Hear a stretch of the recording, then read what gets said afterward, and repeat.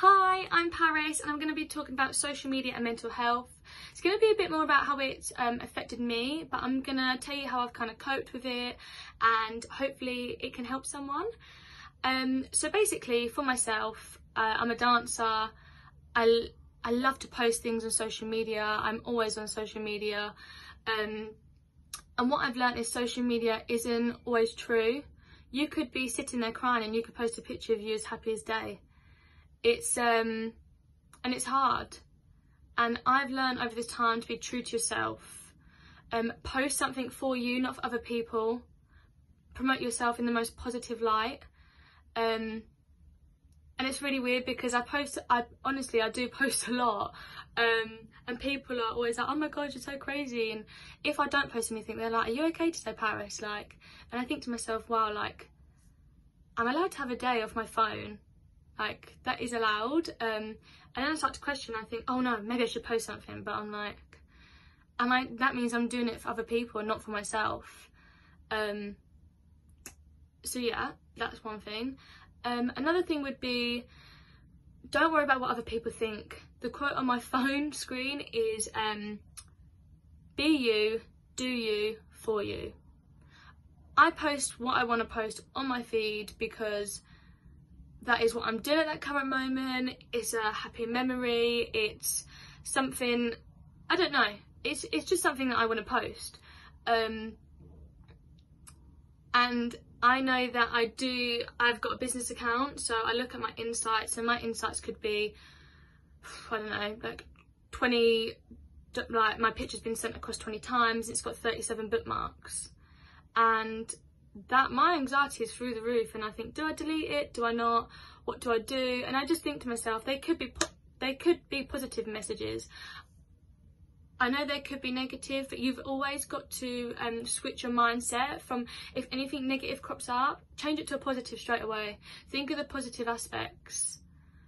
Don't be that person that puts themselves down. Like if you learn to love yourself other people will love you.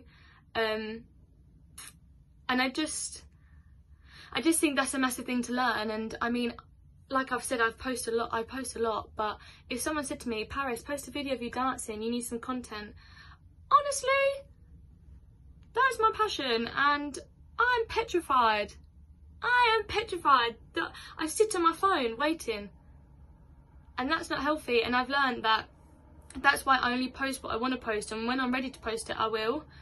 Um, everybody's different. Everybody is different. You need to um, find your way. So for me personally during this time I decided that I'd wake up I'd have a coffee. I would do a workout I'd have a shower. And this sounds so cringy but I'd have a shower and on the window I would literally write it could be a word it could be a quote it could be a phrase to start my day off positive because there's no if you're going to start your day off negative it's going to carry on that way. So oh, it sounds so cringy. I literally will put be kind or um smile or something just to like or something you want to base your day on and it could be um relaxation. So then i would think okay i'm going to do some yoga or what i tend to do which is a massive help for me is reading. During like for example, during these times in lockdown, I was reading a book every two days. And for anyone that knows me, I hate reading. I've never read a book in my life. um, also, music. Sometimes I would literally just get in my car and go for a drive just to put the aux on and listen to some good music. And if you're feeling down, don't put sad music on. Put some, put your favourite tunes on put something on that's going to make you smile. Don't let yourself, it's okay to cry, but put something that's going to lighten the mood. Um, and I just think that people need to realise it's, it's okay not to be okay. Um, God's sake. Ah, it's okay not to be okay and um, everyone, everyone's different, but all I'm going to say is the best way for me is to talk.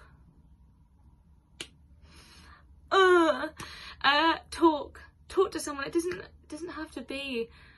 It can be parents. It can be a friend. It can be someone um, that you've got in contact with. There's so many like sources online now um, that can help you.